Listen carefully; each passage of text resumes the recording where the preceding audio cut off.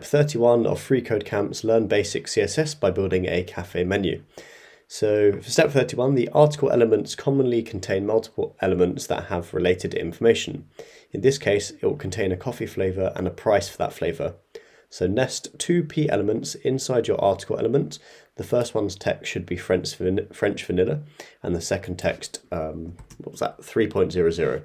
Um, so let's just create our P tags here. So as we do, I'm just going to copy that down. And for the first one, French vanilla, and the second p tag is 3.00, like so. We can see that being rendered to the page here. So let's check that, and that's passed. So step 32 is starting below the existing coffee slash price pair, add the following coffee prices um, coffee and prices using the article elements with two nested p tags uh, or elements um, inside each. As before, the p element text should contain the coffee flavor, and then sorry for the first one, and the second one is the price. Um, so basically, what I'm going to do is actually just duplicate this three more times. One, two, three. And I'm just going to grab, let's say, this one that will go here. And basically, just just copy and pasting. Um, maybe you know, uh, for muscle memory and and all that, you could actually type it out. Um, but a bit too lazy for that now. Um, I wish there was a, a quicker way to do this. But yeah, this is going to be the quickest way, I think. Um, so let's do that. And just to get through this. But as you can see, we're just replicating um, all of the elements and what have I done wrong? So pumpkin spice, hazelnut, that's four pounds. So actually I'll just change that to four. And actually it looks like we don't have enough elements. So and the last one, be mocha. And what I will do actually is, just as you can see here, we've kind of got some weird nesting going on. So just going to bring all of these back in line and like that. And that should pass now. Um, but ideally, we probably want to sort of think of a way um, down the line to actually wrap each of these in a different element so that is a bit clearer. Um, as you can see, it's kind of a, a, long line of text here. It's not very easy to read. Um, but, hmm. Ah, I see. So that's right. So we actually want five article elements. So each of them are their own article. Um, so that makes sense. So what I'm going to do is just grab, let's say, five of these. It's to look terrible for now. And actually, I just realized there's no um, auto formatting. So let me see if I can do this a little bit better. But yeah, we're to add in the articles like that. And let's just see if I can just grab. Okay, perhaps not. So let's bring that over. Let's do one. Actually, see if I can grab all of that. And we want to just close off this article. We've got a new one here for pumpkin spice. We'll close off that one. We'll create a new one.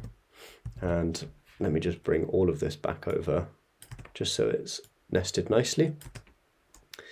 And we can actually want to, we can do the same here. So we can probably grab both of these down here. If I do that, there we go. So that's looking a lot better now. So each of them have their own article element wrapped around them. And I think that should be good now. So let's check that. There we go, it's all passed. Cool. So on to the next one, step 33. The flavors and prices are currently stacked on top of each other um, and centered within with their respective P elements. As you can see, it would be nice if the flavor was on the left and the price was on the right.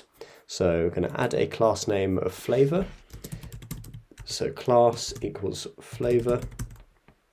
Oh, flavor. Um, see American English, and that's all we need to do for this one, like so. So step 34, using the new flavor class as your selector. So we'll do dot flavor like that. We want to do text dash align. So that's the property and the value we're going to set to left. And as you can see, it jumps all the way to the left of the container that it's in, um, which is the menu here. So check that code, that's all good. So step 35, next you want to align the price to the right. So let's add a class of price to obviously the, the price of the coffee bean or the coffee. And we'll check that. And then that's all good. And then I assume, yep, we want to then set the price. So dot price, which is targeting that class.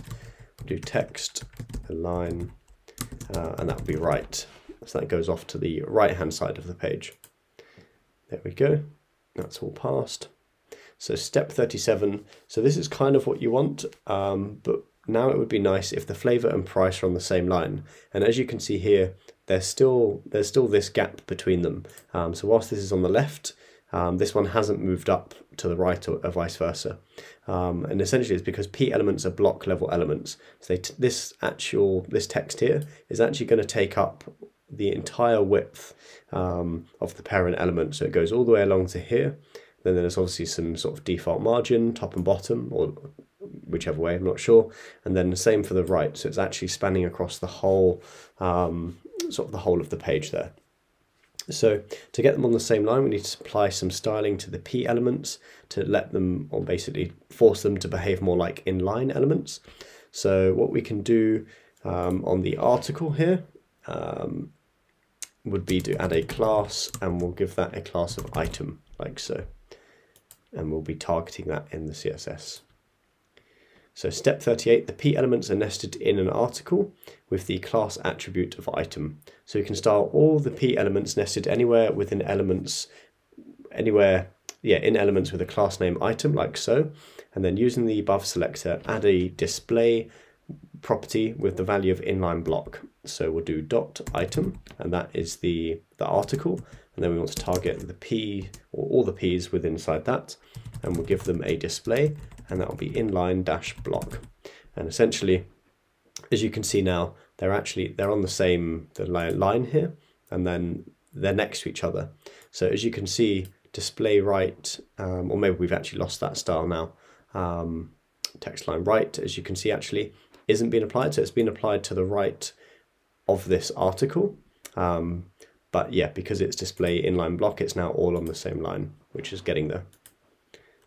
So step 39, that's closer, but yeah, as I mentioned, the price didn't stay over on the right. This is because inline block elements only take up the width of their content, which is this, this basically.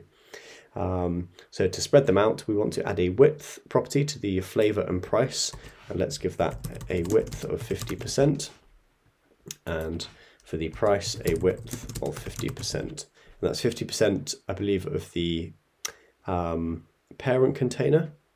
And what have I done here? 50%, 50%. um, so I don't know why that's dropped down. Um, I'd have thought it would actually keep so 50% each, but let's just check that. It's passed, but I wonder why that would be. And let's see, so that didn't work. Styling the P elements as inline block and placing them on separate lines in the code creates an extra space to the right of the P first P element, causing the second one to shift to the next line. Okay, good to know. Um, interesting, so we just want to change the width of the second one to 49%. And there you go. Um, that's gone back up. And then if we did the same here, I assume it might look a little bit better, but we can leave that actually at 50, and then this one's 49. So if does it actually need to be 49 for both to pass the test, that's fine. We'll change that and let's have a look. Check the code. There we go, we've all passed. Cool, so um, yeah, we're getting there in terms of some styling and display. So thanks for watching and I'll see you in the next video.